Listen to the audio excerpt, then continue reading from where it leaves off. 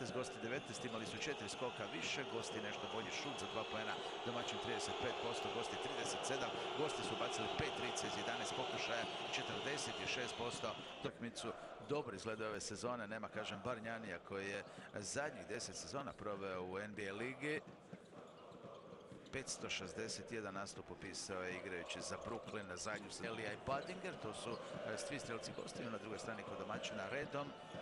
Dangubić 5, Mitrović 4 koša, Lazić obacio 3. Jenkins također 3, Gudurić 2 pojena, Jović 7. Dodao je tome i 3 izgubljene lopte.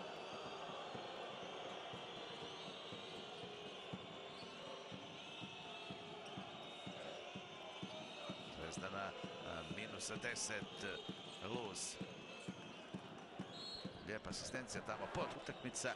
Jedino je Galata Saraj uspio zabiti preko 76 pojena, iako je Zvezda i taj susret dobila. Dakle, kada igra Zvezda, onda su to utakmice na malo koševa.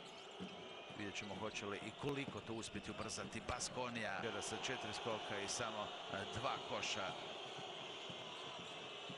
Sjajna akcija. Play. Još uvijek Boboa, pa tu je sa brojem 12 sada i Ilimane Diop, Senegalac. Šengelija.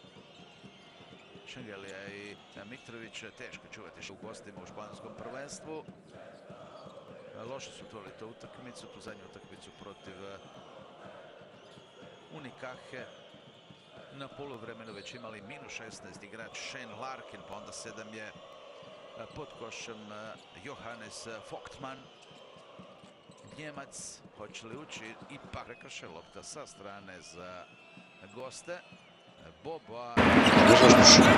I Bauer disse se John Didi Goudo, attacco Max in ground per